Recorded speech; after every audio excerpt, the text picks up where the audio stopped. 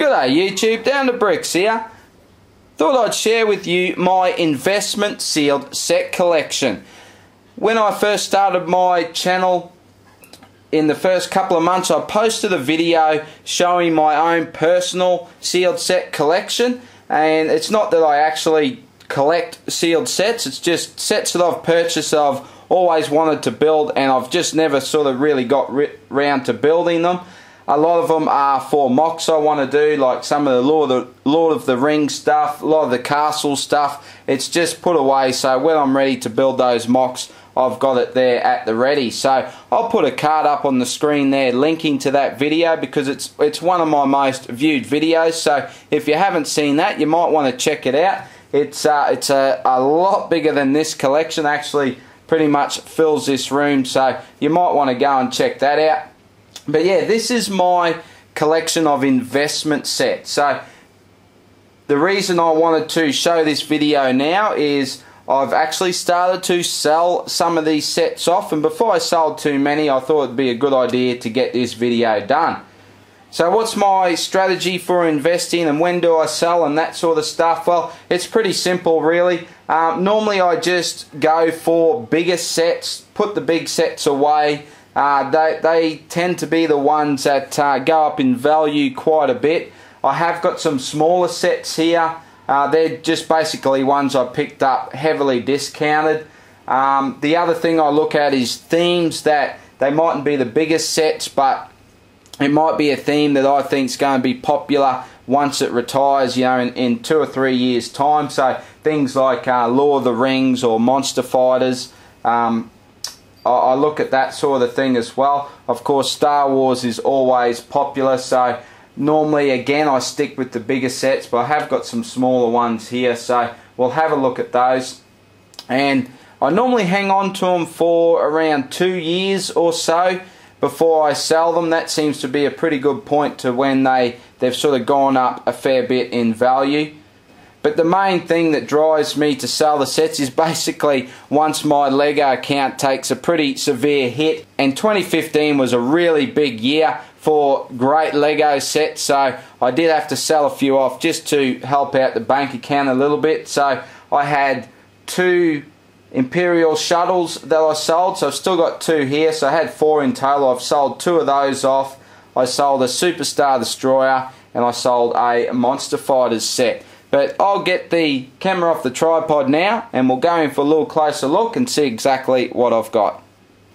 Okay, so we'll start off down here with some of my recent additions to this collection with the Scooby-Doo Mystery Machine. Now, I don't really know how these will do as investment. It's um, it's really was just to punt these ones. I did hear that they, in some places, that they were a little bit hard to get. Now, I paid pretty much full price. I think I paid about 10% um, less than retail price. So it was no great deal, but I just thought I'd pick a, pick a few of these up and just see how that goes. I've got the uh, castle set here. Now, I actually can't think when this theme was from, but uh, 2014 I'm thinking. So put that away. Again, I have a couple of these sets put away for myself for when I get to my castle MOCs and it's a case of is that when I get to build those MOCs either I may look at look at these sets especially these Lord of the Rings sets. I may look at them think well I really need those minifigs or I really need those pieces and I may end up just using them for myself. Or the other option is is of course to sell them to help fund those MOCs as well. So got this castle set. Got the Tower of Orthanc so that is one awesome set. So um, I haven't checked that at all lately but I think that's going to be one that's uh, going to go up quite a bit in value. And of course all the Lord of the Rings. If you've seen my own personal sealed set collection I think I've got about five Helms Deep and that's because I've always wanted to do a Helms Deep MOC. so again I may use some of these but more likely I will sell them to fund that build uh, more likely I'd probably open these Uruk-hai army sets just to get some more minifigs so I've got four of those there's four uh, oops, there's uh, there's four Helm's Deep. I've got two Mines of Moria and I've got an Unexpected Gathering. Now, I do have this set. Um, I'm thinking maybe of making mine bigger when I do get to build it. So I've got this one as backup in case I do. But again, this was a fairly popular set when it was out. So I think that one will go up in value as well. Okay, on to Star Wars. So I've got three Jabba's Palace and three Rancor pits. Um, my thinking here is probably selling those as a pair um, because they do go together. Now that Jabba's Palace, I mean both of these sets, the Rancor set really complements the Jabba's Palace, but I was a big fan of the Jabba's Palace set. So um, my thinking is if I'm a fan of it, there's going to be a lot of other people that are fans as well that uh, come into collecting Lego down the track. So I think that one is going to be another popular set. The Palpatine's Arrest. I actually got that as a free set. I bought the Death Star. So I'll just go down here. So I've got the Death Star 1. So I actually purchased that from Toys R Us in the US. So of course I'm in Australia here. So I bought that out of the States when our dollar was pretty good. And they were doing a promotion where they gave away a Palpatine's arrest with that set. So I've already got the Palpatine's arrest. So I've just put that with my investment sets. I really don't know how that one would go as an investment, but it's got a lot of Jedi in it, so it's probably going to be pretty popular. And here I have the Sandcrawler. Now, this is another recent purchase. So basically, as I said, I sold some sets recently, and what I do is with the original money that I spent on those sets, I use that to reinvest. So I'm actually putting some sets back into to my collection. So the profit I make goes into buying more Lego for myself, but the original purchase amount buys some other sets. So when I sold those four sets recently, I bought the Sandcrawler and I bought the Shield Helicarrier as well. So I've got a couple of newer sets there.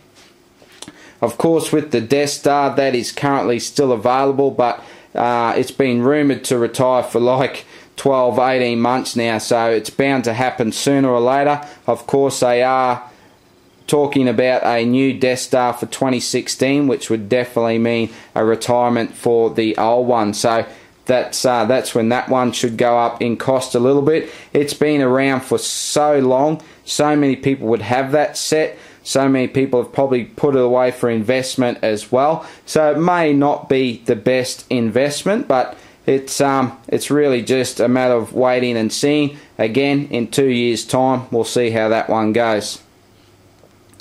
And up here, I got the B wing. I picked that one up at half price, so that was a, a good buy.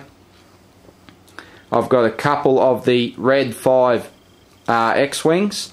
So I actually picked this one up really cheap. You can see you can see what the retail is for us here.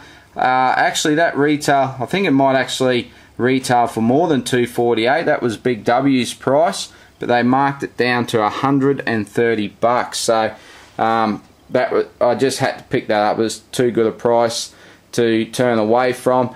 The the other one, I think I paid about 200 bucks for that. Um, 200 or 205, something like that. So again, that's one that is, I think it's still available at the moment, but uh, it's probably not going to be too long before that one retires as well. And the Imperial Shuttle. Now, as I said, I sold two of these. These have been really good for me for investment from what I paid and the return I got on those. So I'm probably actually thinking of selling another one of these shortly just to uh, help the Lego funds a little bit. There's the Shield hel Helicarrier that I talked about. I've got the Arkham Asylum. Now, I've actually got two Arkham Asylums that I've put together, and I've again I've got a video on that if you want to check that out. I may even stick that one up in the cards as well. So this one will definitely be kept for investment. And a couple of little superhero sets and I mean I'm not going to make much on these but I bought them really really cheap so I've just chucked them in with the investments and I'll stick them up on eBay or something and see what I can get for them. So the Turtle Lair Attack again I'm not sure if this is going to be a real good investment I got this one really cheap from Big W. They marked it down to, I think it was something like $17 or something, which is just uh, pretty crazy. So, again, it doesn't have to be a real good investment when you're only paying that sort of price for it. I should still make something on that one. The Bat Cave. Now, I actually bought, when the Bat Cave came out, I've actually got the 2006 one, and I wasn't too impressed with this Bat Cave.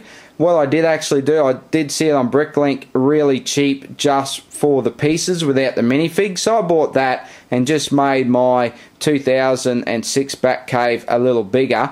But um, but I don't have these minifigs, and I always look at that Bane minifig, and uh, I may be tempted to part that one out. But again, I will have a look at the price it's going for and see if it's worth it or I might just try and pick up that minifig. Now I've got the Town Hall so again this is a set that I may end up using for myself. Again I have made a custom Town Hall for my city so I don't know, I probably will sell it. I've seen some great videos out there. We've got um, Chad's Brick Hobby and Haley Bricks. They've got a couple of really great builds of the town hall. So I may use that as pieces just to change mine up a little bit again. But uh, again, I may just sell it and use those funds to buy the parts off Bricklink. I've got the old police station. I think this might be 2013. I've already got this set and the more recent I'm trying to think if this is the older one or the newer one now I'm I'm not really into the police stations so the idea here I have got two police stations already that I've thought about at some stage making a modular out of for our city and I may use the pieces for this one I'm not sure how the resale goes on these older police stations because Lego re-release police stations all the time so the resale on these older ones may not be too good but not too sure about that. The Horizon Express awesome awesome train this one. It's actually pretty readily available this set. I don't think it's gone up too much in prices yet. But again I'm just going to sit on this one for uh, for a couple more years another of year or two and by then it may go up in value by quite a bit. And the Maersk train. Now this was the set I was talking about was in my personal collection. I've already got the Maersk train. The idea was to put two of them back to back in our city I did buy the other industrial train from 2014 and uh, I think it was 2014 the blue one. And I, I like that train and I've put that with the Maersk in our city and I'm pretty happy with what we've got. Uh, so I pretty much decided that I will sell this one so I took that out of my personal collection. But I'm not going to be in a hurry to sell it just in case I change my mind again And that takes us right to the end here with some Monster Fighter sets. Now I've got four of these. And again, I really just bought these because, uh, again, they were on sale at Big W. They were a pretty good price. And I kept hearing out of the States about how hard this set was to purchase in the States. Uh, I do believe it was exclusive to Target. Uh, I think um, Jeremy at Port City Bricks let me know that. So it was exclusive to Target. So it was a little bit harder to get for you guys in the States. Whereas here in Australia, it was pretty readily available. So I did pick it up, and the Monster Fighters theme is such a great theme. It's really a theme that deserves a comeback. So come on, Lego, do us a favour, bring back Monster Fighters.